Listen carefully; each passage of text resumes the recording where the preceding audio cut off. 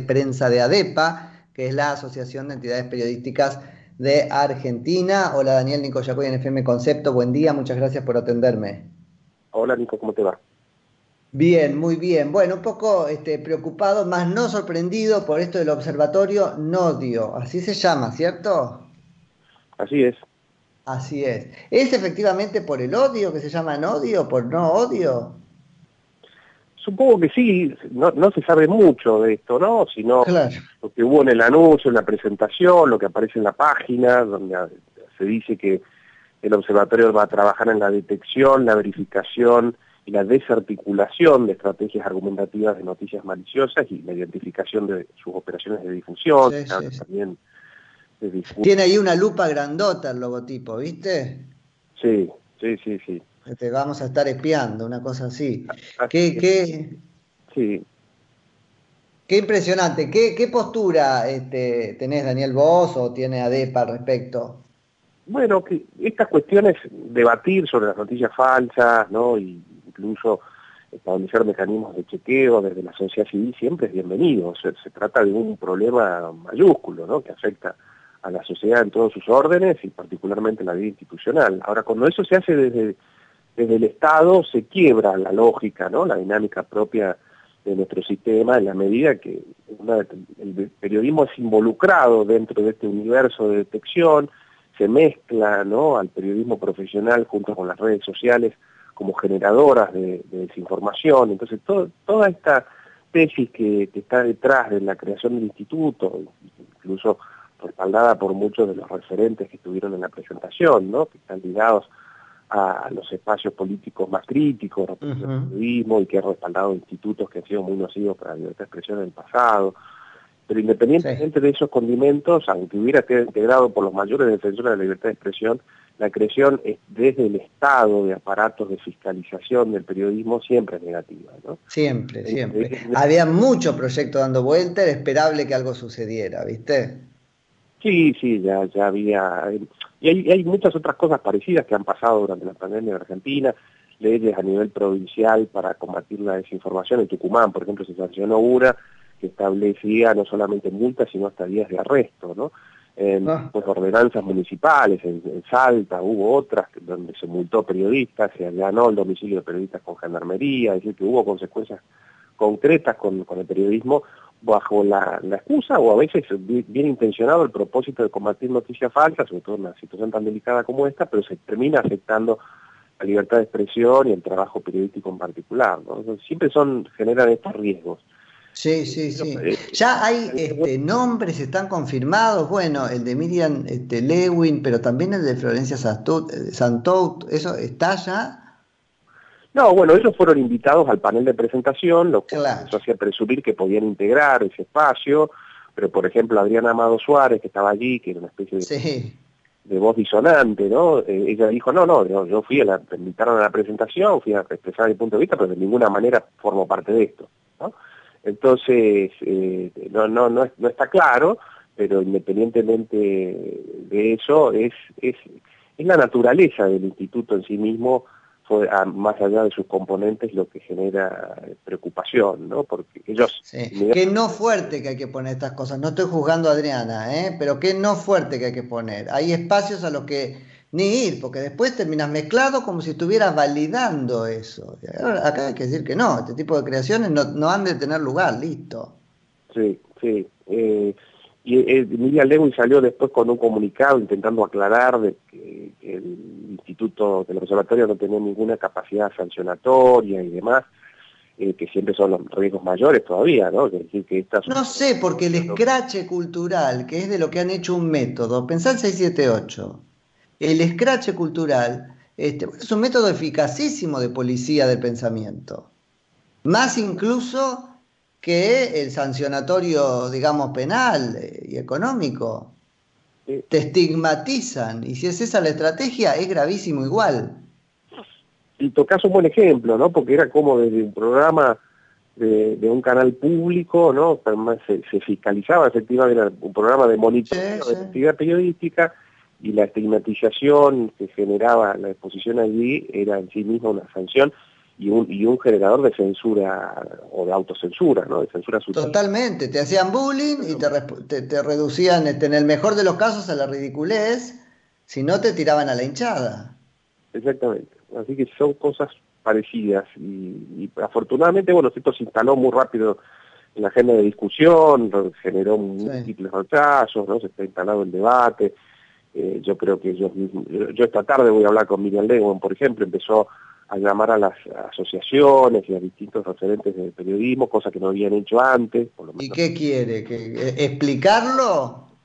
Eh, yo supongo que explicarlo, ¿no? tratar de, salvarlo, de, generar, disminuir temores, ¿no? prevenciones, pero ayer estuvo con, conversó con FOPEA, por ejemplo, y FOPEA sacó un comunicado manteniendo su rechazo, ¿no? incluso eso, ¿no? Ahí está lo del no fuerte. Uno ve a la oposición arrinconada este, en ese intríngulis todos los días, pero bueno, otros estamentos de la sociedad también, y entonces va a ser un desafío, pues tendrán que escuchar la Miriam, pero después mantener el no. Sí, sí, eh, pero, pero bueno, eh, digamos, yo creo que, que va a haber algún grado de retroceso, como pasó con otras con otras cosas, ¿no? Como la okay. y ¿no? Distintos intentos eh, que muchas de estas iniciativas a veces se dan en los márgenes del oficialismo, sin conocimiento de las máximas autoridades. Eh, es importante ya que, existan voces de, rechazo, ¿no? por lo menos de, análisis de este tipo de, iniciativas. Eh, ya ayer la Interamericana de Prensa ya se expresó, entonces ya tiene más Estado internacional, ¿no? Y, y aparece como siempre que se avanza sobre los contenidos, independientemente que se intente poner eh, algodones o prevenciones desde el Estado, se quiebra la lógica ¿no? de, poder que debe ser fiscalizado por el periodismo como intermediario de la relación de, ese poder con la ciudadanía, ¿no? Entonces cuando se invierte los roles... Totalmente. Y ya Daniel es muy peligroso que nos cuenten que este, estarían deseosos de hacer esto, por más que después vuelvan hacia atrás, ¿no? Pues en todo caso será una intención que o siempre va a estar latente a la búsqueda de, la mejor oportunidad de realizarlo, no sé, este mejor resultado electoral o lo que sea, o lo van a hacer en paralelo. Sí, como hacen con la inteligencia, ¿no? Son indicadores que, en los últimos meses se han ido eh, agregando a un clima complejo y que efectivamente genera ese temor, ¿no? De globos de mm. que a veces no pasan porque entran dentro del radar del debate público, pero a veces no, porque son tapados por otras cosas o son más disimulados y de pronto aparecen dispositivos que son muy nocivos para la libertad de expresión, ¿no? Pero efectivamente eh, existen una cantidad de, sectores muy fuertes dentro de la condición gobernante que tienen esta idea, ¿no? Del periodismo como un elemento que está asociado parte de él con sectores de la oposición y de la justicia y que hay que tratar de neutralizarlos con esquemas que hemos visto en otros lugares de, la región, ¿no? Siempre intentos regulatorios, presiones solapadas, disfrazadas de un, en un sentido o en otro, normas. y el ejemplo paradigmático de Venezuela, ¿no? Por supuesto, por supuesto. Ahí este, tenemos un, un temita, algo que evitar. Este, bueno, la verdad que, que acá el problema sería el odio, sería este, la, la, noticia falsa, eh, sería de lo que pasa en la red. ¿Cómo es el tema? Porque bueno, en la red pasan muchas cosas, en los noticieros también, pero en todo caso es la audiencia la que decide, ¿o no? No, no, sí, y hay que diferenciar, digamos, los contenidos que circulan en, el ecosistema digital, en las redes sociales en particular, donde efectivamente hay muchas campañas de desinformación, noticias falsas, y discursos de odio que polarizan a la sociedad, generan mucho daño, a veces perturban una elección, como en el caso de la elección de Trump o el Brexit y muchos otros casos en el mundo, ¿no? Eh, eso merece una atención, pero nunca con eh, estrategias legales o paralegales punitivas, ¿no? Porque eso desvirtúa los márgenes de libertad de expresión que necesita toda la sociedad, sino preventivas, fortaleciendo el periodismo, ¿no? Y como una, una herramienta que tiene la sociedad para equilibrar y protegerse y, informarse debidamente y contrarrestar ¿no? esa desinformación que circula y estrategias eh, educativas, ¿no? más pedagógicas para reconocer las fuentes confiables, para detectar las distintas maniobras desinformación que circula para no compartir. Sí, con mucho cuidado también con eso, porque ya sabés quiénes dan TIC en las escuelas. No, no, por supuesto que hay que No, yo he estado trabajando eso, ¿no? Y ahí hay todo un tema. Miente Clarín, dice la verdad, página 12. Y, eso debe surgir desde la, desde la sociedad civil en particular, los medios, ¿no? poniendo el acento en eso, cuidando también sus propios procesos, pero advirtiendo que, que este, esta peste desinformativa existe y que muchas veces termina dañando la voluntad popular en una elección, por ejemplo, ¿no? En realidad lo que se da como fenómeno interesante, que ya es viejo, pero es una reivindicación del periodismo profesional frente a eso que se leyó al principio como una amenaza surgido de esa falsa democratización del periodismo en, en, el que consistirían las redes sociales. Bueno, ahí pasa una conversación cargada de un montón de cosas. Luego la gente buscará al periodista de su este, referencia para ayudarla a tamizar que de eso es cierto o no.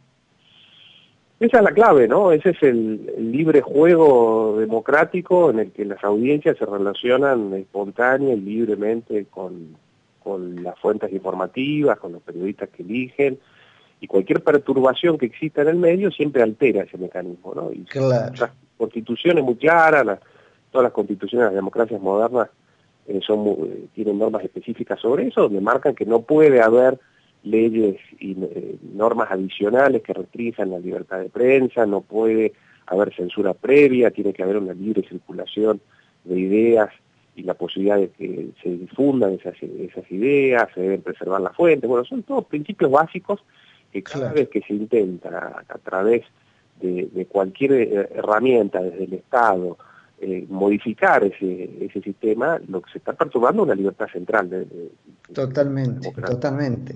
Daniel, este, no te quiero quitar mucho más tiempo, pero te pido que nos aportes como, como insumo para después quedarnos pensando cómo caracterizás, qué cosa es eh, esto del discurso del odio. Bueno, eso no es una cosa nueva, sino que el el ecosistema digital potencia por el anonimato, ¿no? por el modelo de negocio de las plataformas, que muchas premian lo que más impacto genera, lo que más se viraliza, ¿no? y lo, muchas veces las expresiones conflictivas eh, se potencian por el esquema de las redes que van generando estas burbujas de sentido, ¿no? que nos van suministrando o conectando con personas que piensan lo mismo que nosotros, entonces va potenciando los sesgos de la sociedad, ¿no? Mm. y generando círculos viciosos que, donde se retroalimentan las posiciones más extremas, ¿no? Entonces, vemos cómo las sociedades van hacia, hacia los extremos del, pensamiento de manera muy, muy peligrosa y el discurso del odio es uno de los grandes insumos de estas polarizaciones y fragmentaciones sociales, ¿no? E, es un verdadero mal que hace que se vaya perdiendo el centro democrático, la posibilidad de tener consenso, de establecer agendas comunes. Y el periodismo siempre intenta eso, ¿no? Buscar, bueno, cuáles son los grandes temas sobre los que tenemos que discutir, ¿no? ¿Cuáles son las noticias? Del... Claro, pero el problema con eso, si me ocurre para el periodismo, Daniel, y otra vez ayudarnos a ponerlo en su lugar, es que se viene sindicando como discurso de odio la descripción de una realidad odiosa. ¿Pero qué es la realidad? Uno no puede decir, Cristina Fernández de Kirchner este, a ver cómo lo ponemos. Cristina Fernández de Kirchner está muy preocupada en correr jueces que este, conocen sus causas porque eso es un discurso de odio. Estamos todos locos. Nos estamos amputando un elemento fundamental del periodismo que es la descripción de la realidad, aunque esa realidad sea odiosa. Por supuesto, y siempre el periodismo, el buen periodismo debe ser crítico y debe eh, ser muy firme en sus posiciones y dar lugar a la expresión claro. opiniones, pero no, el discurso de odio siempre estamos eh, hablando del discurso xenofóbico, el discurso discriminatorio, el discurso absolutamente intolerante, que no acepta la, opinión del otro y busca la destrucción del otro. Que es realmente marginal en la Argentina. Por supuesto, pero lo vemos mucho en Estados Unidos, en muchos lugares de Europa, ¿no? Eh, lo vemos cerca acá en, Brasil y por momentos en, en, a ver, lo, ah. lo, de, lo de Daddy Urieva de ayer. Y bueno, eso se acerca, ¿no? Eh, eso es, pero el drama ahí es que Daddy Urieva está más cerca de ser un miembro del nodio que de ser observado por él. Ese es el drama y hay que ponerlo blanco sobre negro en la Argentina. ¿Me va a decir qué es odio? Eh, ¿La estructura política más odiante del país? Sí, ahí, ahí, ahí hay un, problema de, No podemos dar mucha vuelta con eso, hay que ser claro o nos rompen la cabeza. Sí, así es. Así que ahí tenemos como un problemón, pero bueno, ojalá pase esto, Daniel, que nos contás, que es que haya sido una especie de globo de ensayo y sea pinchado, ¿no? Ojalá, sí, sí. Vamos a ver este, cómo les va este, a ustedes, después nos cuentan con Miriam Lewin. ¿Es mañana o hoy que se encuentran? Hoy, hoy, hoy. Hoy, bueno. Éxitos entonces con eso. Bueno. Muchas gracias. No, un abrazo, un placer es Daniel Desein, que es presidente de la Comisión de Libertad de Prensa de ADEPA, que es la Asociación de Entidades Periodísticas de Argentina. Noticias.